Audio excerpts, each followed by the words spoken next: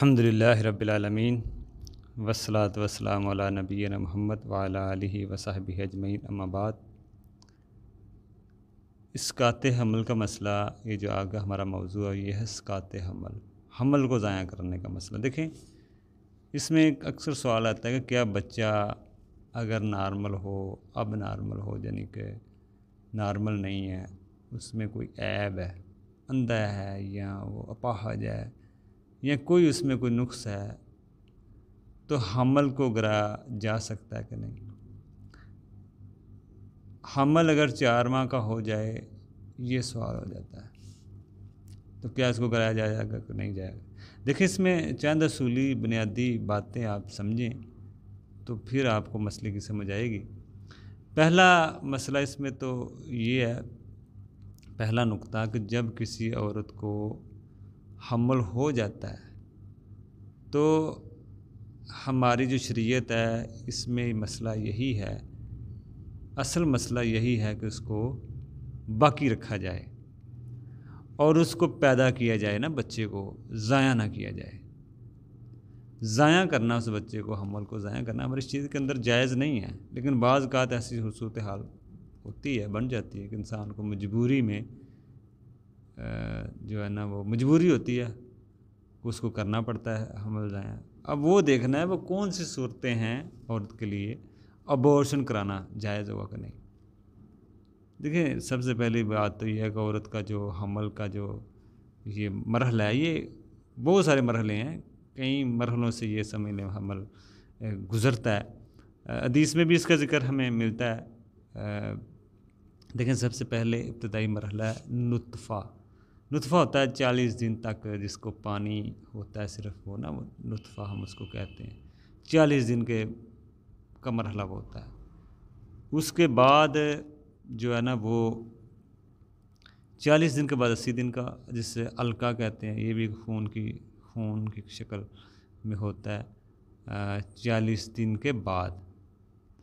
اور پھر اگلے اسی دن کا مسئلہ۔ پھر اگلے چالیس دن یعنی ایک سو بیس تک کا حمل مدگا ہوتا ہے۔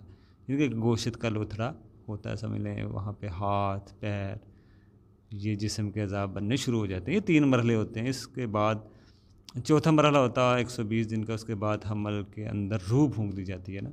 یہ چار مہینے کے بعد ہوتا ہے۔ یہ ساری تفصیل حدیث کے اندر بھی موجود ہے، جو حمل کی ہے۔ حمل ان مراحل سے گزرتا ہے۔ اب ان مراحل میں حمل ضائع کرنے کا الگ الگ حکم ہے ہر مرحلے کا۔ اگر حمل پہلے مرحلے میں چالیس دن کا ہے تو اگر عورت اس کو اب اس میں ضائع کرنے کا، ختم کرنے کا مسئلے کو سمجھیں، اگر حمل پہلے مرحلے ہیں، چالیس دن کا ہے۔ اگر عورت کو پریشانی ہے، عورت بیمار ہے، بیمار رہتی ہے، ڈاکٹر کہتے ہیں اگر حمل پیدا کرے گی تو کمزور ہو جائے گی۔ پہلے بھی بچے ہیں اگر معتبر ڈاکٹر صحیح ڈاکٹر کہیں تو پھر حمل ضائع کیا جا سکتا ہے۔ پہلے چالیس دن کے اندر اندر، جب چالیس دن کا ہوتا ہے۔ دوسرا مرحلے میں شرطیں اور سخت ہوتی ہیں، ہوتی جائیں گی آپ کے لیے۔ دوسرے مرحلے میں، جب چالیس سے اسی تک ہے۔ پھر اور اس سے بھی زیادہ کوئی عذر ہوں، کوئی مجبوری ہوں ڈاکٹروں کے کہنے پر مشورے سے حمل ضائع ہو سکتا ہے۔ تیسرے مرحلے میں اور زیادہ پریشانی ہو تو وہ بھی جائز ڈاکٹروں کے مشورے کے مطابق حمل ضائع ہو سکتا ہے۔ یعنی کہ جو ہی آپ آگے جاتے جائیں گے مرحلے میں، سختیاں اور تکلیفیں، پریشانیاں جتنی زیادہ ہوتی جائیں گی، پھر آپ کو کوئی دیکھا جائے گا کہ اس میں کیا جائے جائے۔ لیکن اگر حمل میں چوتھا مرحلے میں روح پھونک دی جائے گئی ہے، چار ماہ کے بعد اس کے اندر روح ڈال دی گئی ہے، اس وقت اس معاملے میں اور سنگین معاملہ ہو جائے گا۔ یعنی کہ پھر کسی حالت میں بھی حمل ضائع کرنا جائز نہیں ہے۔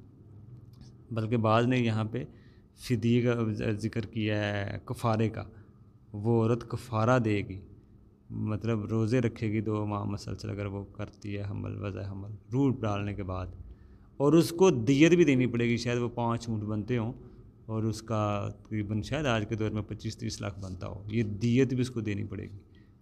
یہ سزا ہے، کفارہ بھی اور دیت بھی۔ اگر روٹ ڈالنے کے بعد، بعض تو اسی کے اسی تک حمل چلا گیا، اسی دن تک اس کے بھی پھر قائل نباز رہے لیکن چالیس تک بعض کا کبیرہ گناہ شمار کرتے ہیں۔ تو اصل تو یہ کسی معاملے بھی کرنا جائز نہیں ہے، لیکن ایک سو بیس دن کے خصوصی بعد کا جو مرحلہ ہے، تو کسی حالت میں بھی جائز نہیں ہے۔ صرف ایک صورت میں حمل ابورشن کرانا جائز ہوگا۔ وہ صورت یہ ہے کہ ڈاکٹر کی ٹیم اس بات کی گواہی دیں کہ اس حمل کو اگر اگر اس حمل سے ماں کی جان کو خطرہ ہے۔ صرف صورت میں حمل ضائع صرف اسی صورت میں حمل ضائع کیا جا سکتا ہے۔ تو دیکھیں یہ کتنا اہم معاملہ ہے۔ اس لیے اصل یہی ہے کسی بھی مرحلے میں حمل ضائع کرنا جائز نہیں ہے۔ کچھ شرعی یوزر ہے ڈاکٹروں کے کہنے پہ کچھ بات ہو سکتی مستر مسئلہ خلاصہ یہی ہے۔ آپ کے جیسے سوال ہوتا ہے، اکثر بچے نارمل ہیں، اب نارمل ہیں۔ تو اس کی دلیل نہیں ہے کہ اب نارمل ہے تو اس کو ضائع کر دیا جائے۔ بعض کا ڈاکٹر کہتے ہیں اب نارمل ہیں، لیکن بچے ٹھیک پیدا ہوتے ہیں۔ یہ بھی ہوتا ہے۔ بچہ اندھا ہے، لنگڑا ہے۔ تو پھر اس کا مسئلہ یہ نہیں ہے کہ اس کو ضائع کیا جائے۔ وہ ایک ہی صورت ہے، ماں کی جان کو خطرہ ہو، ماں کی زندگی خطرہ ہو، تو پھر ہم کہیں گے ماں اصل ہے۔ وہ اصل میں پھر فرو سے اصل اہم ہوتے ہیں۔ جو اصل اوپر والے ہوتے ہیں نا، وارث، ماں، باپ، دادا، دادی، یہ اوپر والے اہم ہوتے ہیں، اصل والے فرو سے، بیٹی، بیٹا، پوتی، پوتا سے۔ تو پھر فرو سے اصل اہم ہے۔